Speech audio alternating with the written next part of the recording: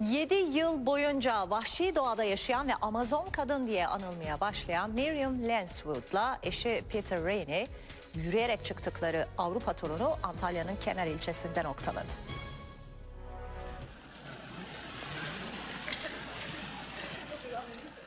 Amazon kadın ve eşi. Onlar 7 yıl boyunca vahşi doğada yaşadı. Sıra dışı çift, vahşi doğa yıllarının ardından yürüyerek 1000 kilometre yol kat edip Avrupa'yı gezdi. Macera perest çiftin son durağı ise Antalya oldu. Hollanda'da beden eğitimi öğretmenliği yapan Miriam Lanswood'la Yeni Zelandalı akademisyen Peter Ray'nin yolları Hindistan'da kesişti. 2010'da evlenerek Yeni Zelanda'ya yerleştiler. Vahşi doğanın içinde teknolojiden uzak bir hayat seçtiler. Yeni Zelanda'da hafta sonları yürüyüşe gidiyorduk. Bu yürüyüşlerden geri dönmek istemediğimiz için dağlarda yaşayıp yabani hayatı deneyimlemek istediğimize karar verdik.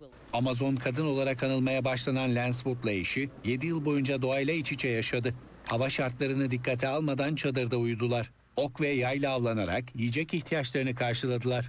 Bu şekilde yaşamlarını idame ettirdiler. Kadınlar da avlanabilir, erkekler de. Önemli olan bazen zor olanı denemektir. Onun benden daha güçlü olduğu zamanlar oluyor. Neden yapmasın ki? Daha çok kadın bunu yapmalı. 2017 yılında Avrupa turuna çıktılar. Fransa'dan başlayarak yaklaşık 1000 kilometre yürüdüler. İsviçre, Avusturya ve Almanya'yı gezdiler. Ardından otobüsle Bulgaristan'a, oradan da İstanbul'a vardılar.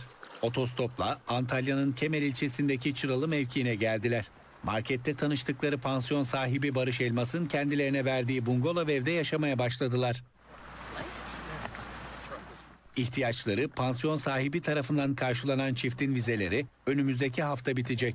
Macera perest çift Yeni Zelanda'ya geri dönecek.